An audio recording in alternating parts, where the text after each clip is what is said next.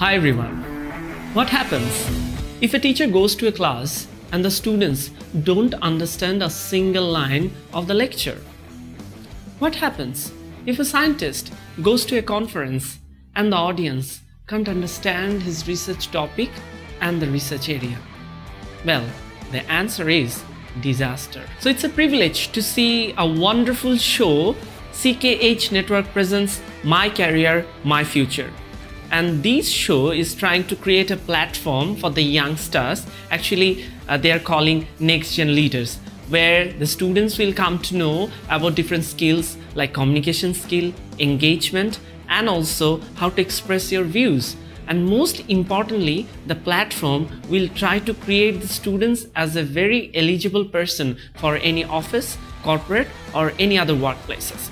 And i have been invited in this show to share my views about academia, about research, about science, and also extracurricular activities. And most importantly, how soft skills help a person or a student to express himself or to expose himself. So stay tuned and be with us.